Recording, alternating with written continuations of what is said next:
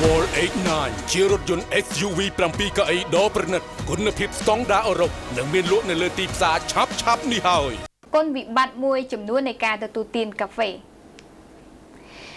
ការទទួលទានកាហ្វេនាពេលបច្ចុប្បន្នត្រូវបានគេមើលឃើញថាហាក់បីដូចជាទម្លាប់ទៅហើយសម្រាប់បុគ្គលមួយចំនួន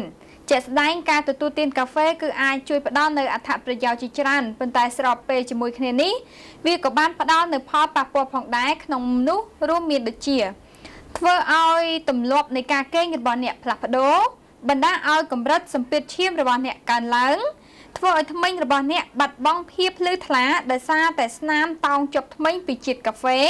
បង្កភាពរាំងស្ទះមិនឲ្យរាងកាយធ្វើការស្រូបយកសារធាតុរ៉ែវីតាមីនដូចជាជាតិសង្កសីជាតិដែកជាដើមអាចជំរុញរាងកាយអ្នកក៏កើតនៅជំងឺទឹកនោមផ្អែមនិងធ្វើឲ្យរាងកាយអ្នកខ្សោះជាតិទឹកហើយបាត់បង់នៅវីតាមីន B C ក៏ដូចជាកាល់ស្យូមទៀតផង